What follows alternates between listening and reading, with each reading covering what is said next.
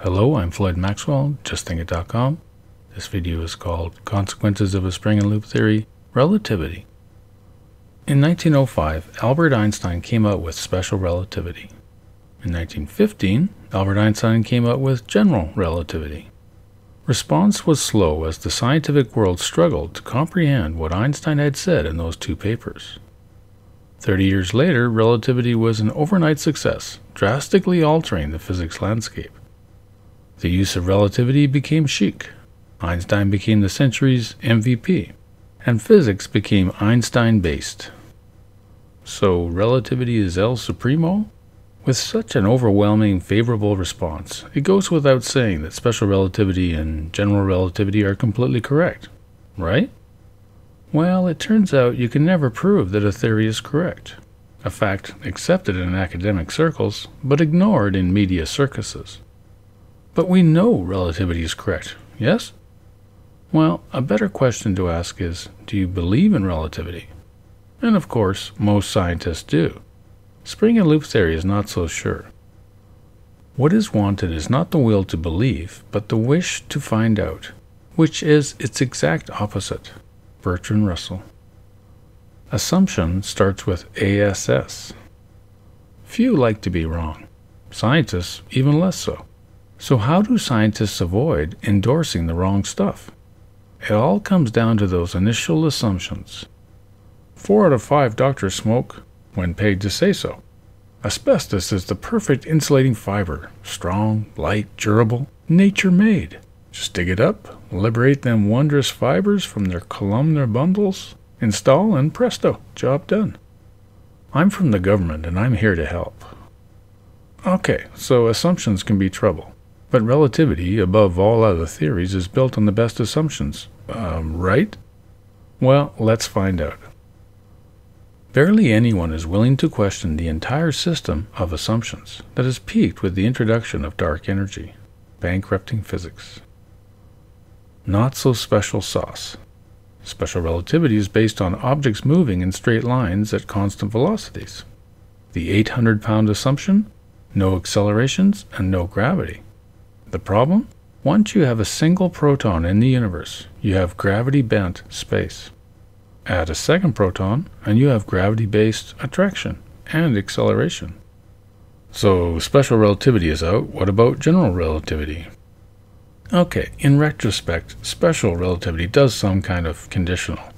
Luckily, general relativity sounds like it might be a solution. Generally, the general case is the one intended for general use, right? Incredibly, general relativity is layered directly on top of special relativity. General relativity is literally special relativity plus gravity. Spring and loop theory calls this useless plus uh, it doesn't matter because you'd still get something useless. Correct theories of physics are perfect things, and a replacement theory must be a new perfect thing, not an imperfection added onto an old perfect thing. This is the essence of revolution, the replacement of the old with a new, not the adding of more crap to the old. Richard Feynman. But is it legal to badmouth relativity? Back up a bit. Just who or what does spring and loop theory think it is, picking on the greatest mind in history? And who is to say that spring and loop theory isn't filled with even more flaws? Any intelligent fool can make things bigger, more complex, and more violent. It takes a touch of genius and a lot of courage to move in the opposite direction. Albert Einstein. From COASALT 7, the atom, spring and loop theory is irreducible, both in scale and in number of components. This doesn't by itself make spring and loop theory correct, but it does make it the simplest possible theory of everything. One refresher coming up. Spring and loop theory is a new theory of physics, or it was in 2012. Today, spring loop theory is 20 papers into a rather surprising journey that all began with a quest to understand gravity. Weird, right?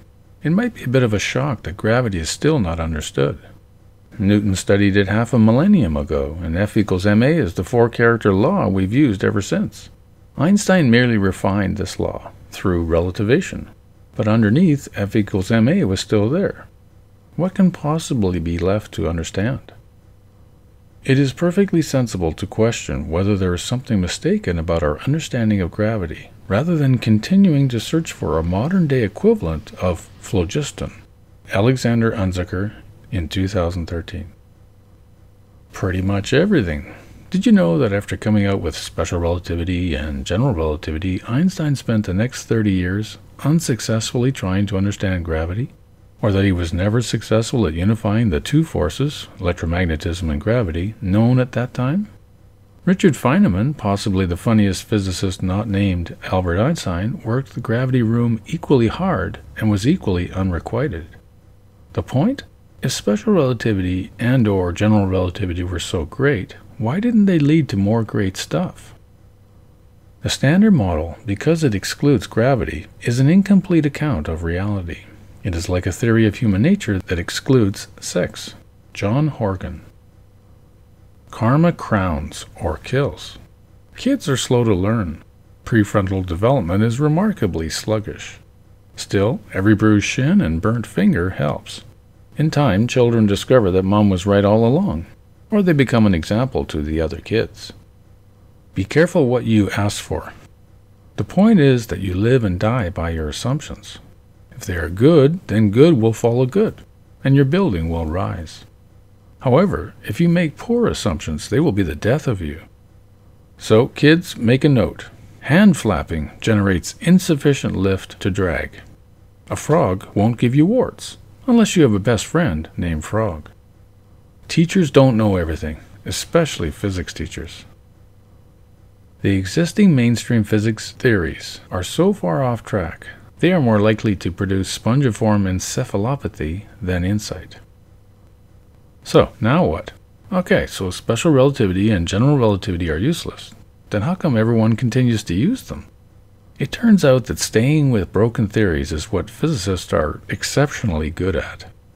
To understand why, one needs to consider what is at stake. Selective hearing.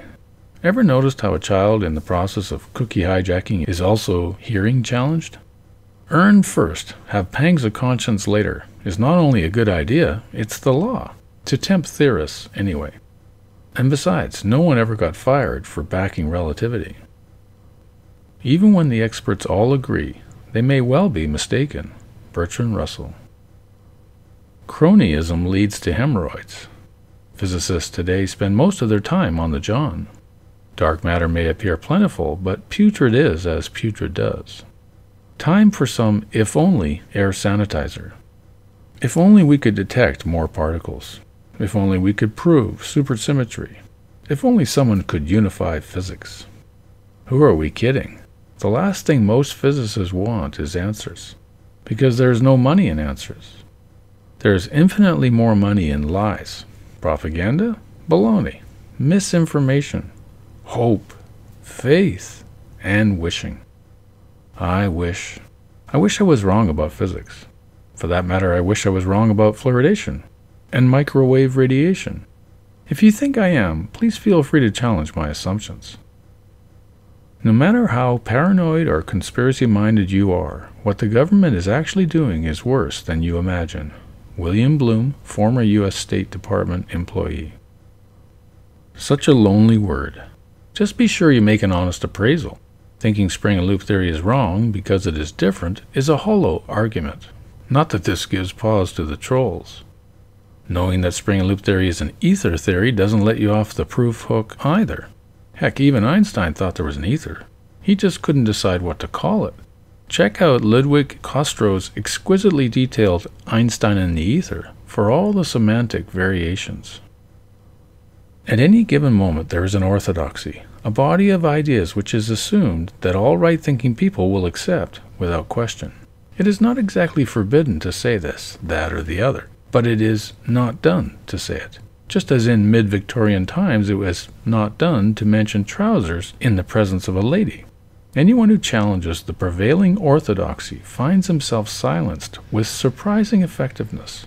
A genuinely unfashionable opinion is almost never given a fair hearing either in the popular press or in the highbrow periodicals. George Orwell. So, what's the point? Special relativity is crippled by its base assumptions. and general relativity is built on top of special relativity. Little more needs to be said about relativity. You obviously can't move forward with it. But what does matter is what you are feeling right now. No pain like brain pain. There are few things more difficult than admitting you've been on the wrong track the whole time. To do so, you have to first be able to accept that most of your steps down that wrong road have been futile. There are two types of pain one that hurts you, and the other that changes you.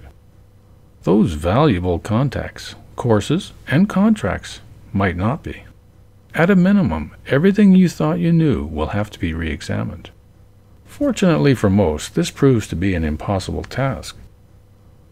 Occasionally, a man stumbles over the truth. Most dust themselves off and continue walking as though nothing had happened. Winston Churchill. COASALT relativity's target market? The few, the proud, the COASALTians.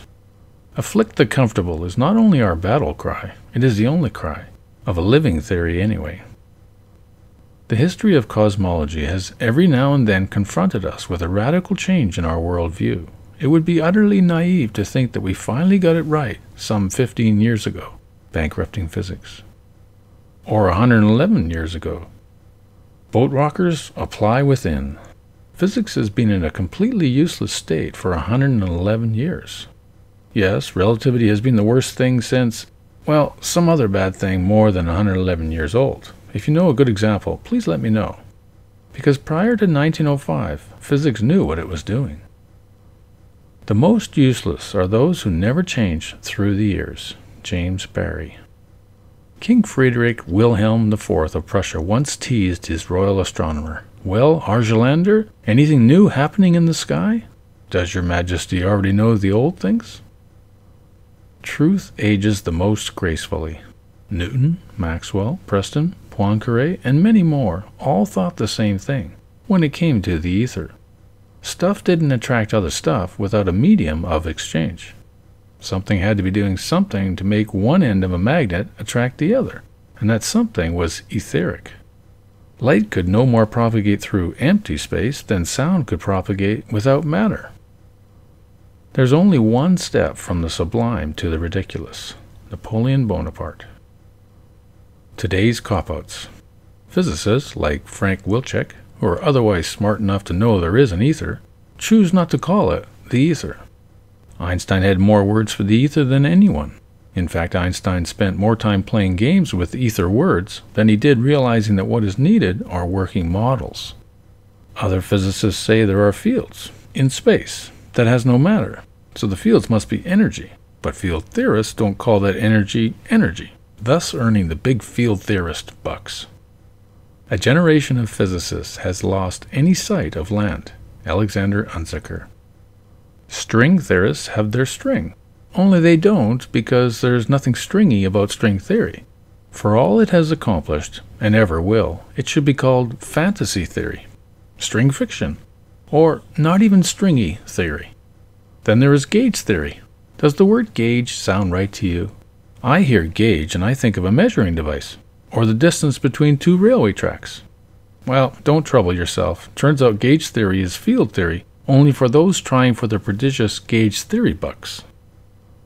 It is mostly unorthodox thinkers, isolated from the scientific community, who have achieved major breakthroughs.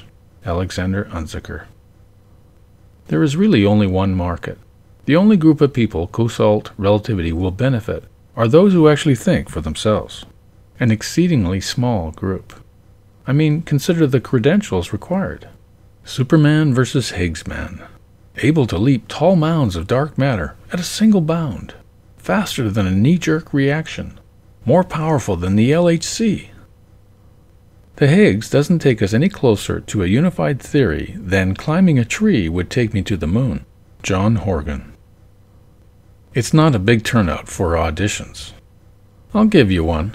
Alexander Unzicker, physics professor and author of a couple of coffee table books you've probably glanced through Bankrupting Physics and The Higgs Fake. I know of no one who sees more flaws and sees them more accurately and insightfully than Professor Unzicker. But then Sheilla Jones co authored Bankrupting Physics, so I'll give you two. If you know a sec third, please let me know, and I'll dispatch a rescue party. No doubt a pack of wolves is at their door as we speak. End note? So does any part of relativity work? Well, yes, sort of, but for the wrong reasons, and giving the wrong answers when you need them most. Relativity is not Planck based, so it keeps yielding those pesky infinities and singularities. Relativity is not gravity based, so it's not extensible. Relativity is not complete, so it can't unify anything. At least relativity equates mass and energy. But people before Einstein equated mass and energy. But at least Einstein derived the equation, but that equation is built on bad assumptions. Oh no, I've gone cross eyed.